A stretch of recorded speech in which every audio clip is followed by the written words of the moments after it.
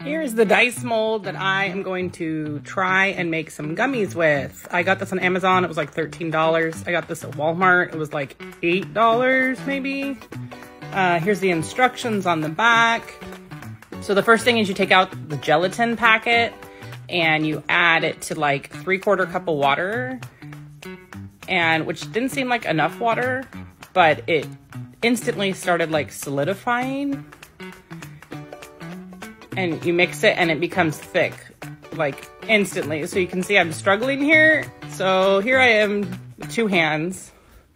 So as the gelatin blooms, it has to sit for five minutes. So now I'm adding the rest of the mixture and it was a quarter cup of water, which didn't seem like enough, but you have to bring it to a simmer.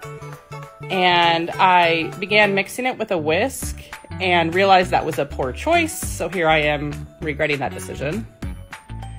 And then as it kind of thickens, I realized I didn't have any flavoring. So I decided to just try some vanilla because that's all I had in hand, as well as some food coloring.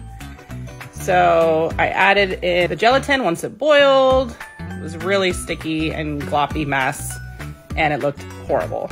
So here I added the blue food coloring to it and then I poured it into the mold originally like this. this is how I do it when I make ice and realized that wasn't gonna work. So I took the top off and we're just gonna do halves to see if this will work at all.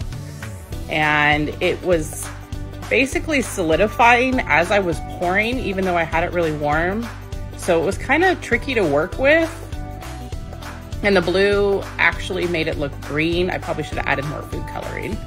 But I just filled in all the dice molds just to see if it would set.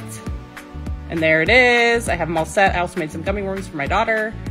And so after six hours, here are the gummies. They came out of the mold really easily. And honestly, I like the detail of the numbers, even though it was only half the mold. So here they are up close. And I gave them a try and it was pretty thick gelatin. I mean, it was edible, but I'd like to try it with other flavors besides vanilla. So overall, I'm pretty pleased.